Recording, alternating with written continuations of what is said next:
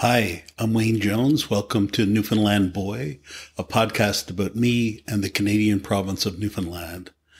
This is episode 28 Dating When You're a Senior. 18th century English writer Samuel Johnson wrote that getting married again after you've been through it once is, quote, the triumph of hope over experience, unquote. If you read that one way, it's bitter and cynical. Why would you choose to go through that hell again? If you read it another way, though, it's a simple, calm statement of fact. Marriage, like almost any human activity, has both good and bad, and if you choose to try it a second time, then you are relying on hope for a better outcome this time. In passing, I published a bio of Sam Johnson last year. See the show notes for a link. I turned 65 two days ago, and so am pretty officially a senior now. As a contrast, in the course last week of helping my mother clear out her townhouse to prepare to move to a long-term care home, I retrieved the identifying band that was put around my baby wrist a little while after I was born at 5:38 a.m. The other thing I did was subscribe yet again to Plenty of Fish which seems to be the most popular dating site in Newfoundland. I say once again because I've been on it and off it like it's a keto diet and I'm craving carbs. That's the joke version. The truth is that dating in your 50s and 60s is one of the most frustrating experiences I've ever endured. And so what generally has happened is that I sign on for three months and at or before the end of that, I completely delete my account over the numerous problems associated with the site and with the people on it whom I'm trying to date. Let me be clear from the start.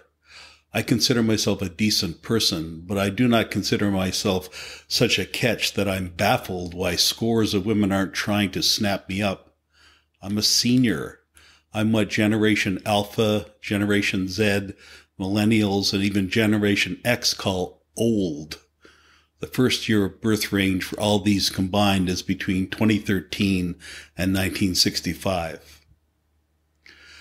On the Plenty of Fish site, affectionately or otherwise referred to by aficionados as POF, I am looking for a connection with one of my peers mostly, that is a woman between her early 50s and mid 60s. Sometimes, when the fish aren't biting, I cast my rod, no pun intended, into the late 40s. No matter the age, here is what I have discovered after maybe 30 or 40 dates or more, and even a couple of brief relationships. Note that I use woman or women here, but not as an indictment of that gender, but only because I am straight and date only women. I'm sure that people who date men find the same issues. Number one, many women have had such horrible past relationships and not sought counseling or therapy to address the trauma, that they are simply not ready to be in a relationship with a man. I communicated with one beautiful and very kind, but nervous and tightly wound woman who had been physically and emotionally abused. She was in effect in trauma and made either conscious or unconscious efforts to sabotage our efforts at a relationship canceled dates summarily, told me only hours before that she just didn't feel like a date we'd planned for a week. And during the one real date that I had with her, when she arrived at the restaurant and I commented sincerely on how nice she looked, she interpreted that as a compliment meant only to get her into bed. She was hardworking and intense, but had this sense of non-self love inside her that compelled her to overcompensate by trying to prove to me unnecessarily that she was more than her work, that she was a smart person. We communicated a bit after that, but ultimately I had to stop partly out of practicality. I wanted to meet some woman, and I couldn't spend my time on dates that didn't materialize.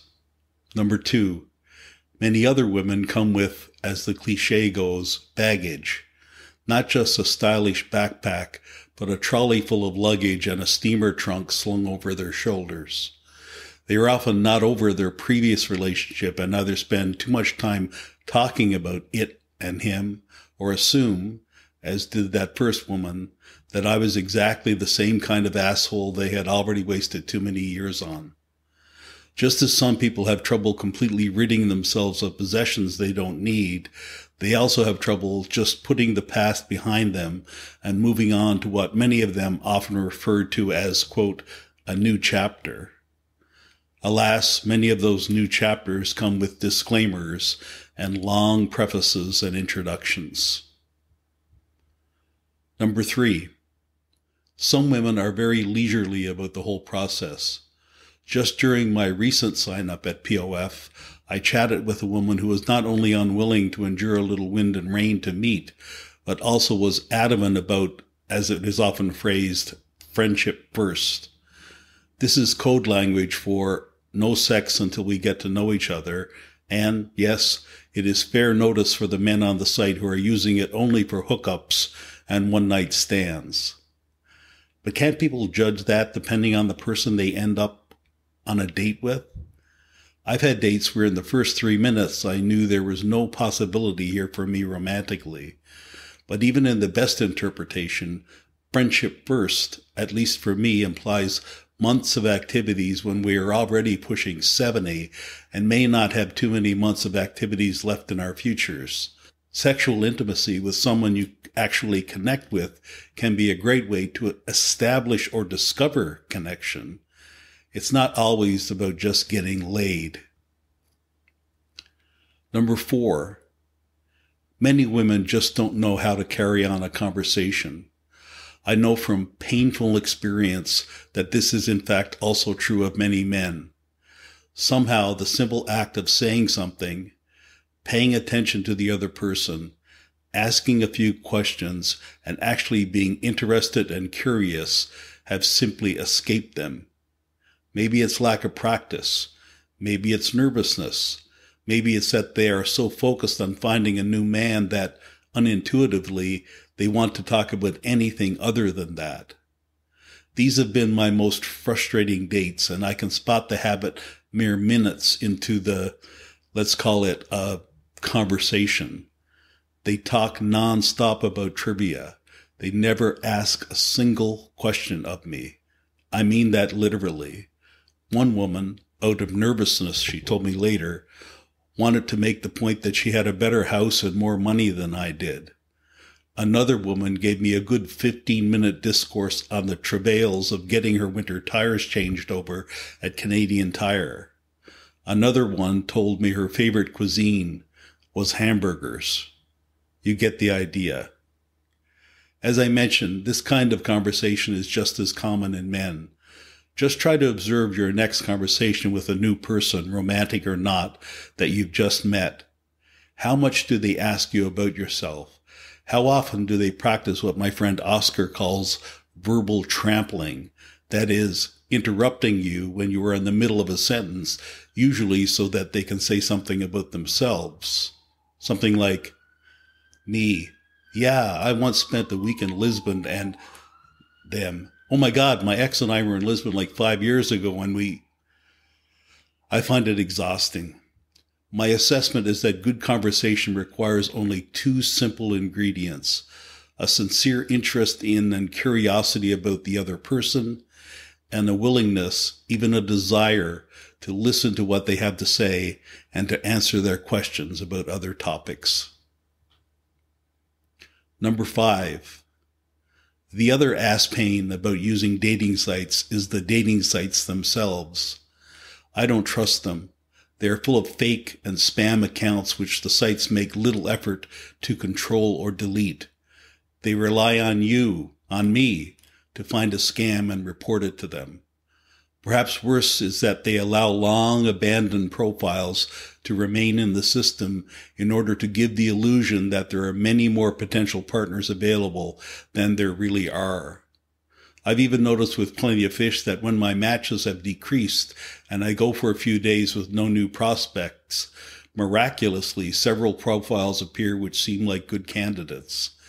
They may often be of women who have long ago left the site I mean years ago, and have never used the profile actively for a decade. They are fossil profiles. In fact, at one of them, I found an anthropologist who specialized in the middle Paleolithic era there, excavating for signs of past human life. It's been a couple of days on Plenty of Fish, and I will continue fishing. Already had some nibbles. I'm hoping this time to pull up fewer old boots and rusty bicycle wheels. And that's all for this episode. Thanks for listening. A quick plea to rate or review me if you like the podcast. And as always, please join me again next Tuesday.